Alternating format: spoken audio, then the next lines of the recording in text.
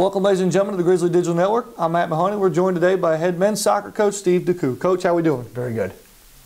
Coach DeCou, I have to congratulate you not only for the two wins this past weekend, but hosting the GGC tournament. How did it go in your eyes? Oh, things went very well. Uh, this is hopefully going to become an annual tradition. Uh, the feedback from the opposing coaches, they love the facilities, they love the fields. Uh, they loved the first class reception they got from everyone here in the staff and the, and the way that we just uh, made them feel welcome. After watching four games in two days, four teams, GGC, Thomas, AUM, and also Milligan, what was your impressions after watching those four games? It's early, and so the way that the teams are today is probably not how they're going to be uh, come tournament time, but um, Milligan was a national tournament team last year. Uh, AUM comes in number five in the nation. Thomas is top one of the top two or three teams in the Sun Conference. And for us to get the results we did and the play the way that we did, and we didn't play our best, but uh, a lot of positives going forward, and so we're excited to uh, continue on with the season. AUM, number five team in the country. We beat Thomas. Thomas beats AUM. What does that do for the psyche of your team? Well, according to the fans, then we should beat AUM, but we know that's not the case. We know that on September 11th, uh, we've got our hands full. Um, the psyche is, though, the boys know they can play with AUM, um, not in an arrogant way, but uh, even last year when AUM came in here and beat us 1 0, that was kind of a watershed moment for the program in that they were top five in the country and we gave them all they could handle. Uh, but the important thing is going to be to go to AUM, to do your job, to get a result, score a goal, and uh, hopefully get out of there with a positive result. Grizzlies go 2 0 on the weekend. Coach, are you more impressed with the fact that we scored five goals in two games and only gave up one goal in two games? Well, if you compare it to last year's goal total, we are so far behind. But no, realistically, after the preseason we had and the amount of goals we were giving up, to give up one in two games, I'm much more pleased with, uh, with the defensive effort. Who gets credit for that?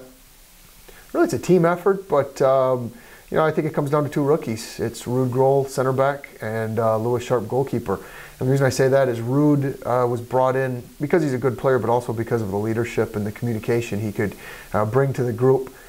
And by his improving and increasing the communication, it's forced others to do the same. And so we've got guys who last year maybe were a little bit quiet, and this year they're just talking and helping each other through. Whereas Lewis, you know, it's impossible to replace a Greg Hartley, but a couple of the saves he made this past week were just great. And with a 6-6 frame, anything in the air he snatched up. You talked about last week the depth is one of the strengths of this team. We saw it this past weekend. Cal Mordee comes off the bench. Martin Lugo comes off the bench. Both of them heavy contributors as well. Was that a good sign? Were you happy to see that? Well, it's a great sign. It's a great sign.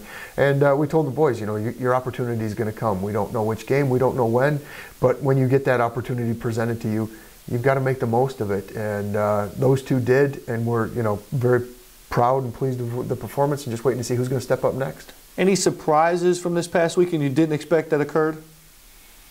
Yeah, our defending was much better. In the preseason, we were a bit, uh, bit all over the place, but part of that's my fault because we were just experimenting. Um, we spent this past week in training, getting the boys ready, how our defensive shape was going to be, where we should line up, um, and they did a much better job than we anticipated. Can we improve on the first two games? Always, always. If we don't stop if we stop improving, then we're regressing and then we're in trouble. And so, you know, we can be better with uh, in the in the attacking end. How many chances do, in the first game we created 15 chances, only three hit the target. Got to do a better job with that. In the second game, we let uh, Milligan kind of dictate the way we wanted to play. We got caught up in silly fouls, which led to their free kicks. So we've got to do a better job keeping our emotions in check, understanding the style of the referee, and then just slowing the game down, taking the air out of the ball is, is the way we say it, um, and just dictate tempo a little bit better.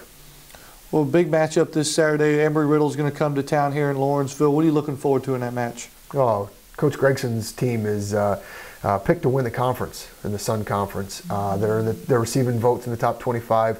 Uh, I've played his team in years past, and they're very well coached, very well disciplined, very good team it's another big opportunity for us. Um, if we were to get a positive result, this is going to send a message to the rest of the country that, you know, we are for real. You can check out Steve DeCou's men's Grizzly soccer team this Saturday, 7 o'clock, versus Embry Riddle pregame show at 645 with yours truly. Coach, thanks for stopping by. Thanks for having me. This is the Grizzly Digital Network.